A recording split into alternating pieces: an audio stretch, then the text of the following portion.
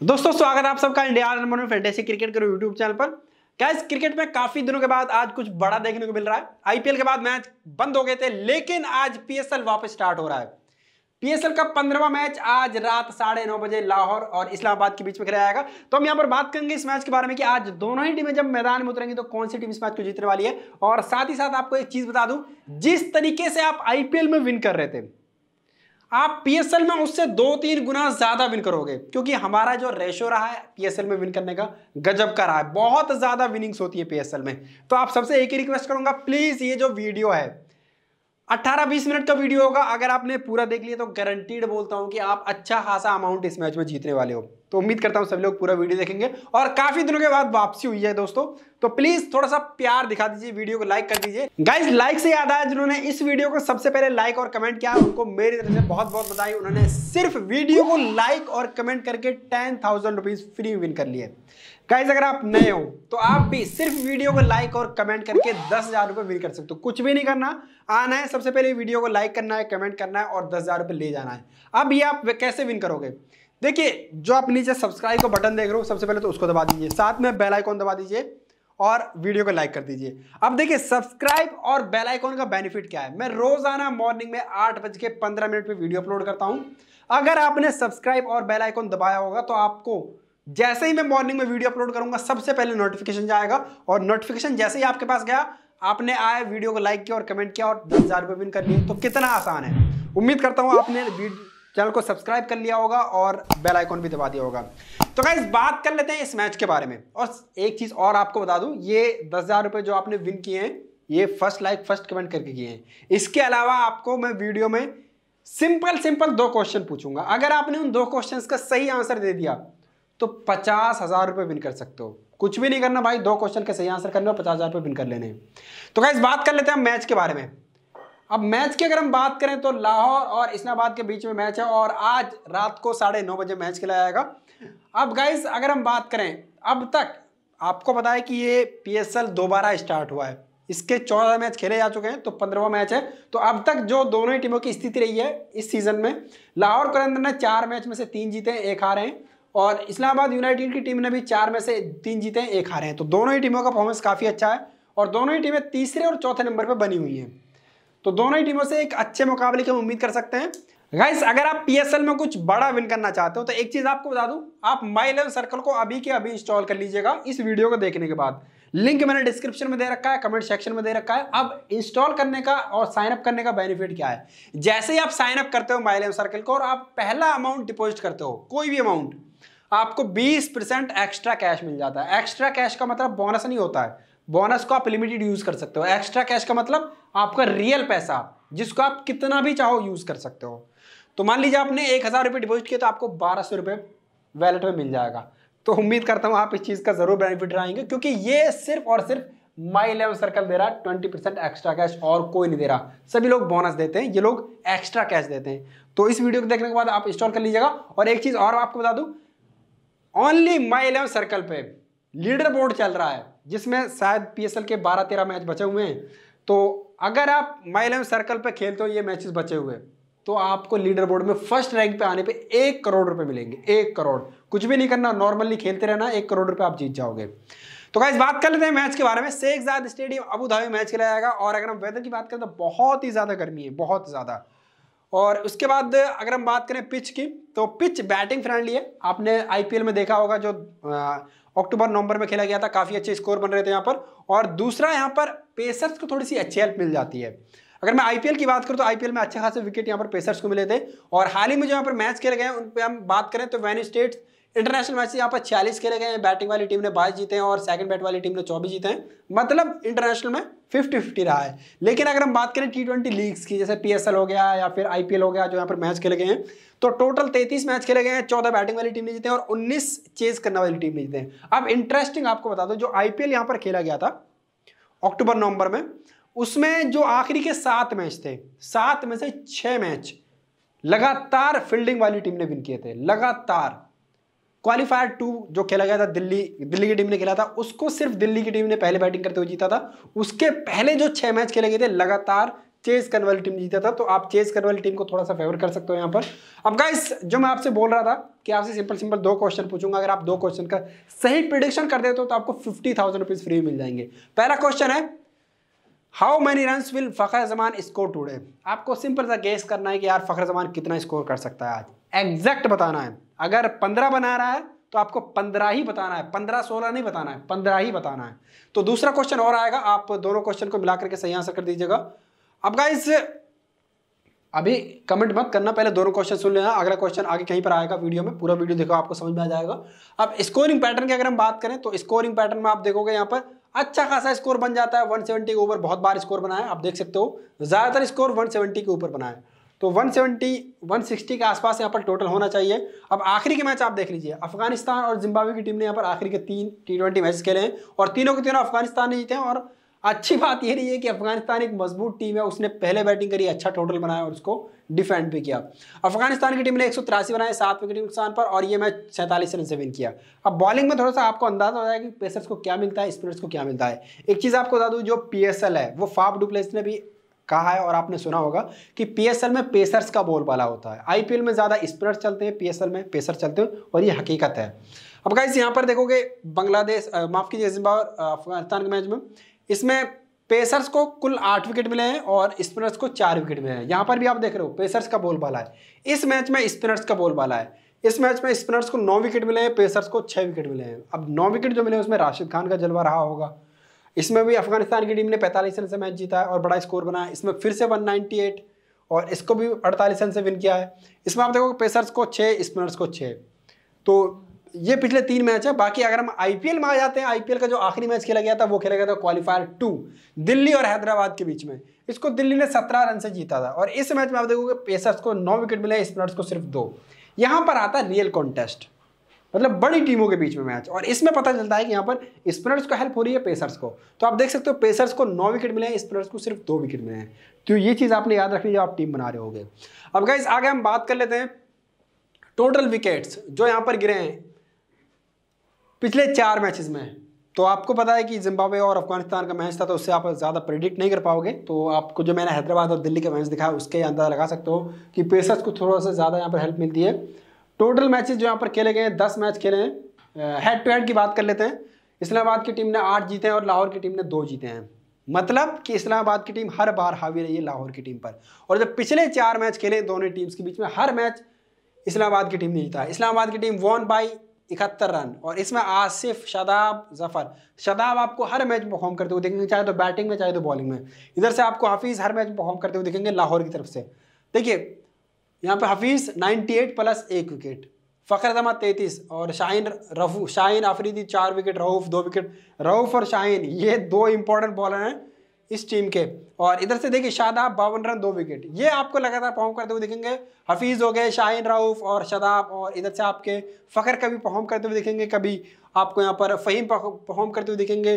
और देखिए, फ़खर अड़तीस, फ़हीम छः, आसिफ पचपन, और शादाब एक, शाहीन एक। मतलब गिने चुने प्लेयर है जो लगातार परफॉर्म कर रहे हैं। इधर देखिए, शादाब फिर से एक विकेट, और फ़खर पैंसठ और शोएल अख्तर सैंतीस। अब गाइस ये कुछ इंपॉर्टेंट प्लेयर थे जिनका पिछले कुछ मैचेस का परफॉर्मेंस रहा है हेड टू हेड में। अब इधर हम देख लेते हैं जो स्क्वाड है। आपको पता है कि पीएसएल खेला जा रहा था स्टार्टिंग में इस साल के। बीच में रुक गया, अब फिर दोबारा स्टार्ट हुआ है। तो कुछ प्लेयर या तो मजबूरी से नहीं आ रहे हैं, या फिर इंजर्ड हैं, या फिर अपनी टीम के लिए खेल रहे हैं। तो कौन से प्लेयर ऐसे हैं जो बाहर हुए हैं और उनके यहाँ पर किन प्लेयर्स को टीम ने शामिल किया है, वो हम देख लेते हैं। देखिए, लाहौर कलंदर की अगर हम बात करें तो लाहौर कलंदर की टीम में जॉय डैनली इस बार नहीं खेलेंगे, समित पटेल नहीं खेलेंगे, डेविड वीज नहीं खेलेंगे, टॉम अबेल नहीं खेलेंगे, सलमान मिर्ज़ा नहीं खेलेंगे। तो इनकी जगह किसने लिया है? Callum Ferguson, Tim David, James Faulkner Seekkuge Prasanna Sultan Ahmed. लगभग हु बहू ऐसे ही प्लेयर्स को शामिल किया गया है, जैसे कि आउट हुए हैं। तो टीम पर मेरे हिसाब से कोई ज़्यादा फ़र्क नहीं पड़ेगा। अच्छे प्लेयर्स हैं, कलम फर्गुसन, टीम डेविड बहुत अच्छे प्लेयर हैं। और ऑलराउंडर में जेम्स फॉकनर और सिको प्रसन्ना काफ़ी अच्छे ऑलराउंडर हैं। अब गाइज़ हम यहाँ पर प्लेयर वाइज स्टेट देखें तो कलम फर्गुसन का फॉर्म काफ़ी अच्छा था, बिग बैश लीग में। सिको प्रसन्न ने खेला है एलपीएल, लंका प्रीमियर लीग। पिछले छः मैच, पाँच मैच में सिर्फ़ दो विकेट। इधर आप देखोगे, टीम डेविड, ये हार्ड हिटर बैट्समैन है भाई। हार्ड हिटर बैट्समैन है, थोड़ा सा लेट आता है बैटिंग के लिए बट बहुत स्पीड से रन बनाते हैं। इधर आपके सुल्तान अहमद है लेफ़्ट आर्म ऑर्थोडॉक्स हैं, और ये सऊदी अरेबिया के प्लेयर हैं। कतर कुवैत के लिए खेल चुके हैं, कतर के लिए खेल चुके हैं बट इनको चांस मेरे हिसाब से बहुत कम मिलेगा।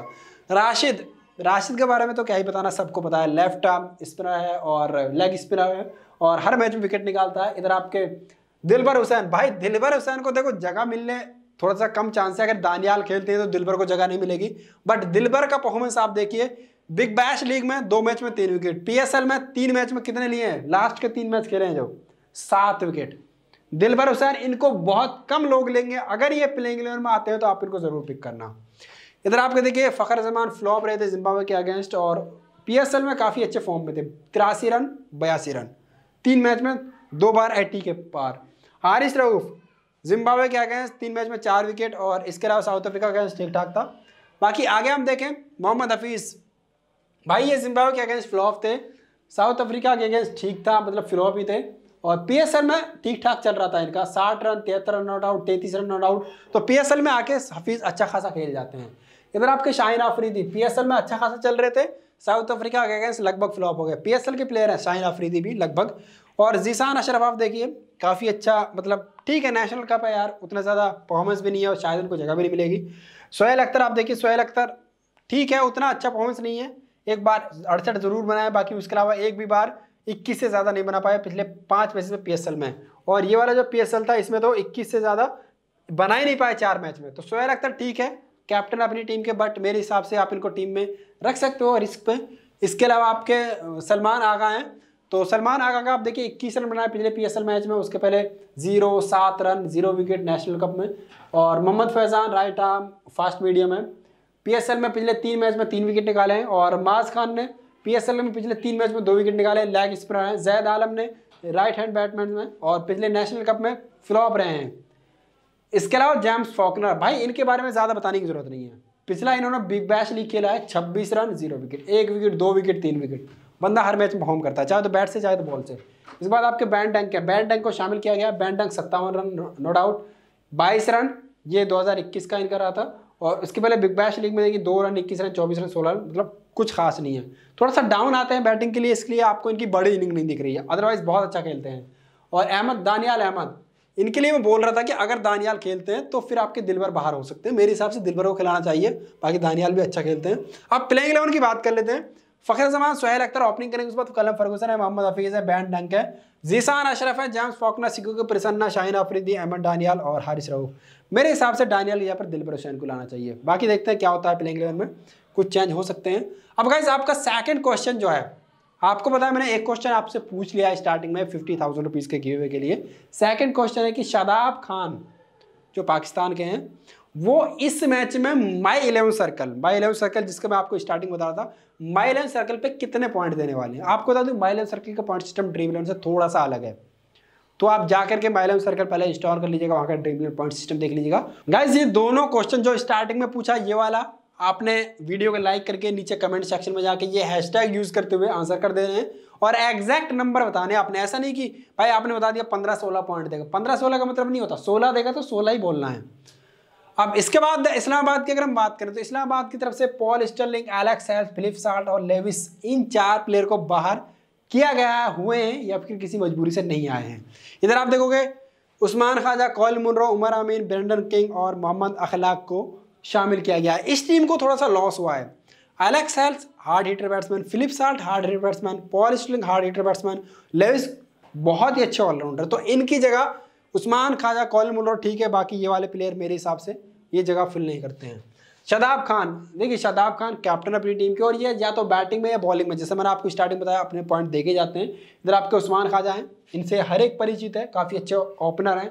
ऑस्ट्रेलिया के और बिग बैश लीग में काफ़ी अच्छा परफॉर्म करते हैं। कॉलिन मुनरो अच्छा खासा इनका भी परफॉर्मेंस होता है। बिग बैश लीग में सैंतालीस और तीस और छियालीस की इनिंग खेल चुके हैं। फ़हीम अशरफ, इनका थोड़ा डाल मडोल होता है भाई। चार ओवर करेंगे तो आपको पॉइंट देके जाएँगे, नहीं करेंगे तो थोड़ा कम देके जाएँगे। बेनर किंग अगर खेलेंगे तो ओपनिंग करेंगे अदरवाइज़ खेलेंगे नहीं। और इनका परफॉर्मेंस ठीक रहा था सी में। पिछले जो तीन मैच खेले थे, लगातार फ्लॉप रहे थे। बाकी इसके अलावा मोहम्मद अखलाक, कुछ खास नहीं था। और हुसैन तलत, भाई ये बंदा आया, पता नहीं कहाँ गायब हो गया। देखो पीएसएल में आप देखिए बाईस रन, बयालीस रन, एक विकेट, दस रन, पाँच रन, तीन रन, पंद्रह रन अच्छा खासा परफॉर्म करता है बट इसको अपॉर्चुनिटी नहीं मिलती है, बहुत लेट आता है बैटिंग के लिए। और बॉलिंग भी बहुत कम मिलती है। मोहम्मद मूसा, बहुत ही अच्छे फास्ट बॉलर हैं भाई। आप टीम में रख सकते हो। हालाँकि अभी तक अपने आप को साबित नहीं कर पाए हैं। अंडर नाइनटीन में काफ़ी अच्छा खेलते थे।